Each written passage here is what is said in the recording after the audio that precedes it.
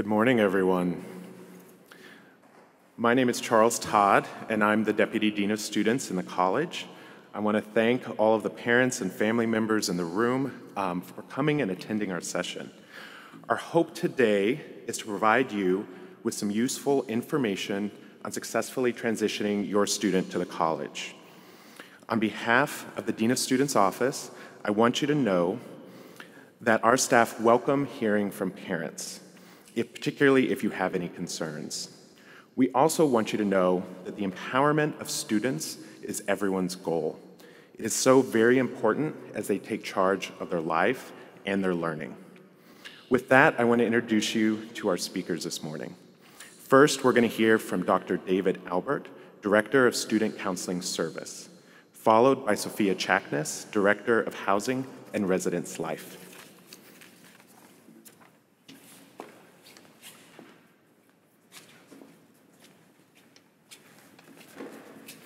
Good morning, everybody.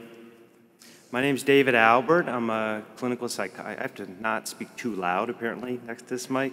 Um, I'm a clinical psychologist. I'm director of the Student Counseling Service. And I'd like to take this opportunity to welcome you to the University of Chicago and to say a few words about something that is very much on everyone's mind today. I'd like to share some thoughts about letting go. Letting go of our children, even our emerging adult children, is not an easy thing to do. It's especially difficult to do in this era of the smartphone, which allows us to electronically tether ourselves to our children with such seductive ease. Gone are the days of the Sunday evening telephone check in. Now it's all texts and Instagram and Facebook and Twitter all the time. Now we're able to instantly share pictures with our children of what we're eating for dinner. Never in my wildest dreams as a college student did I envision such a thing, and I must confess that I was never particularly interested in what my parents were eating for dinner. It takes real effort to step back and give our children room to live their lives with some degree of autonomy and privacy. It's harder than ever to do this, but I would like to suggest to you that it's more important than ever to do this. The metaphor that comes to mind and it's likely familiar to most of you, is teaching our children to ride a bike. I once asked my youngest son what his happiest early childhood memory was. His answer was very meaningful to me. He said, My happiest memory is when you were teaching me to ride a bike and I was pedaling and I looked at you and I realized that you were no longer holding on. His answer surprised me. My son took a pretty rough fall later that day and he was covered in cuts and scrapes and bruises. I felt guilty about that for a long time. But he doesn't remember that part at all. What he recalls is the moment that he realized that he could do this difficult and scary thing on his own. And this memory became a powerful and important one for him.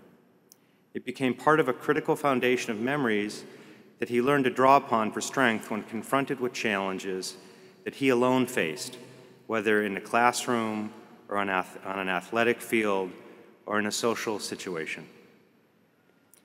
And later today, when your child approaches Cobb Gate and prepares to enter the Bartlett Quad and join the class of 2021, you will look at your child and you will realize that it's time to let go.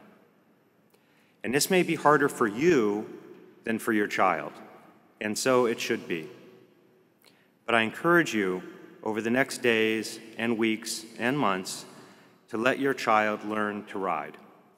Cheer them on, and when they fall, as they inevitably will, know that we are here to help them up. This is an area where the University of Chicago excels. We have a myriad of remarkable support services in place and available to our students.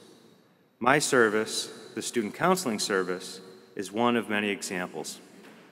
So please rest assured that when you leave this campus, your children will not be on their own, but they will be taking a very real step toward independence and self reliance.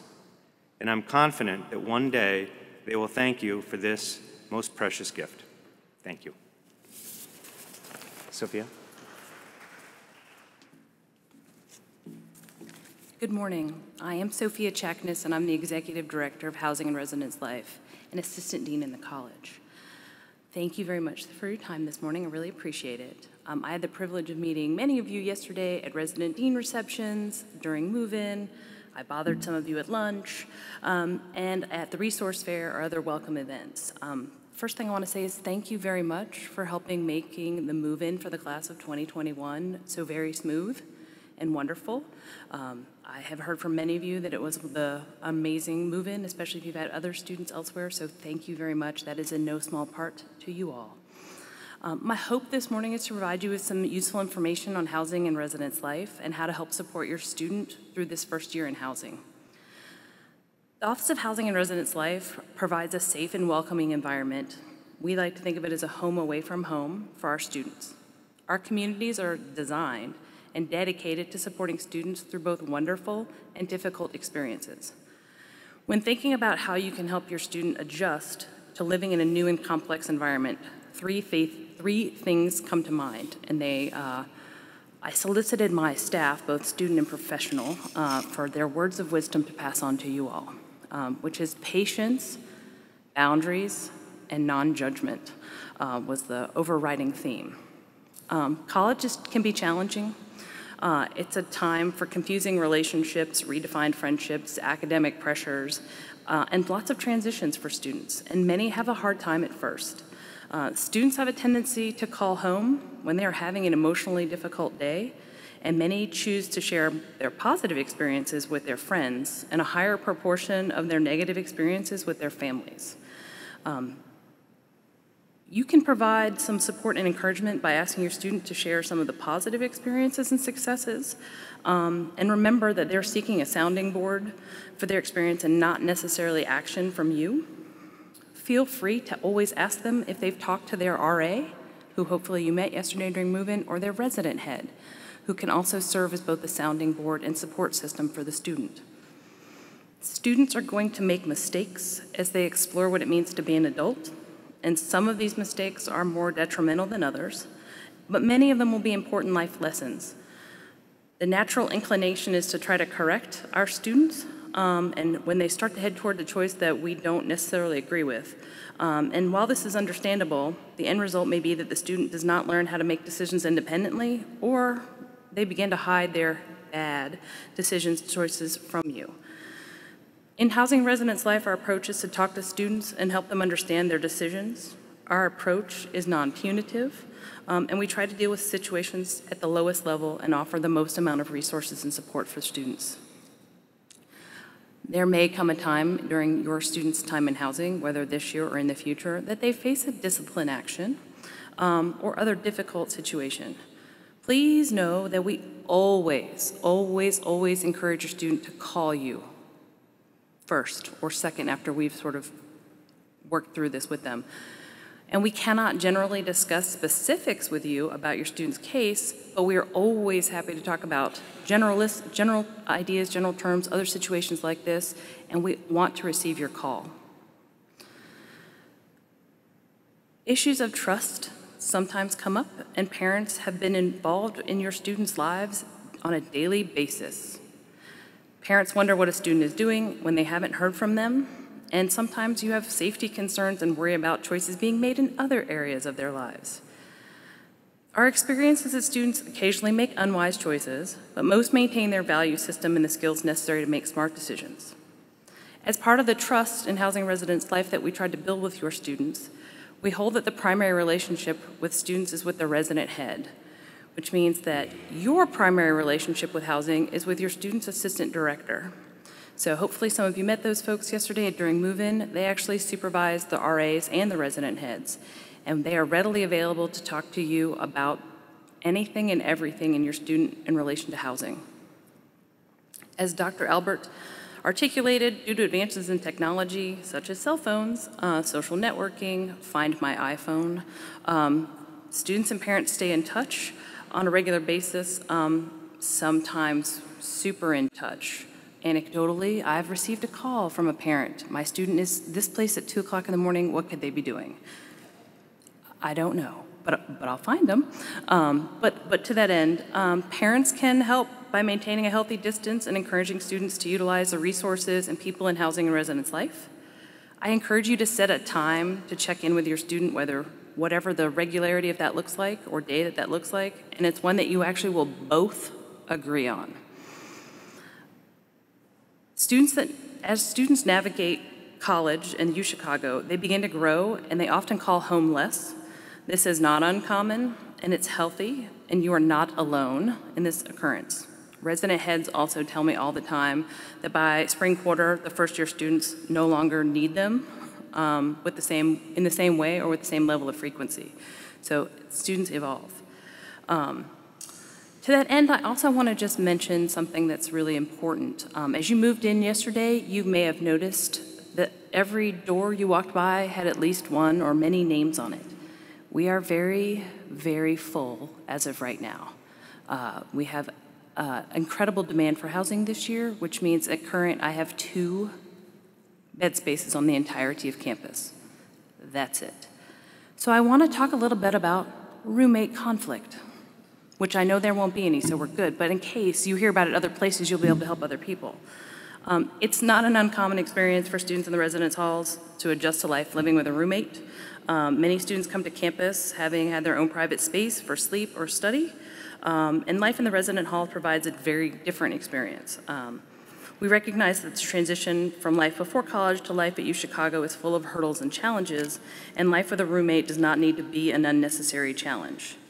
Um, in fact, we think living in the residence halls with a roommate during the first year can be great preparation for living with roommates or housemates during the rest of their college years and life after. The resident heads and RAs are a great resource for students that are struggling with their roommates. These staff are able to help roommate communications about differences, find reasonable solutions to conflicts, and understand when somebody's uh, expectations are unreasonable. I encourage you to talk with your student about the importance of taking responsibility for their experience in, the, in their hall and in their community.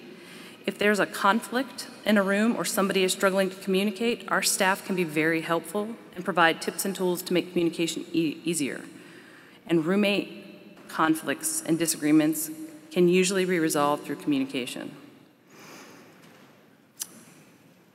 Our staff and offers residents an environment that is safe, supportive, and fun, while also providing many opportunities for academic development.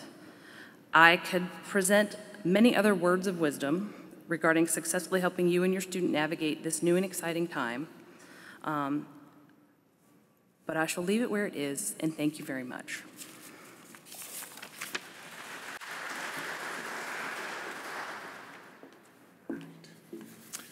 So once again, I want to welcome you all on behalf of the Office of the Dean of Students. Right now, I want to talk briefly about the role of our office with both students and parents. The Dean of Students office consists of a team of advisors and deans. Our advisors are full-time professional advisors who work with students over all four years, regardless of major.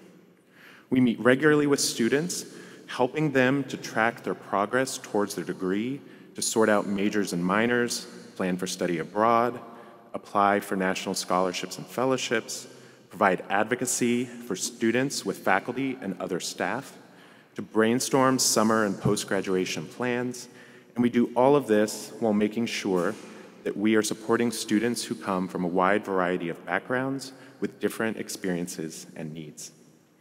So we certainly meet with students often, and we provide a lot of support. But we also consider our students to be responsible young adults. So what does that mean for them to be young adults? Well, first, our conversations with them are confidential and by law cannot be shared without specific permission from them. Parents who want to know how their students are doing are encouraged to ask them directly.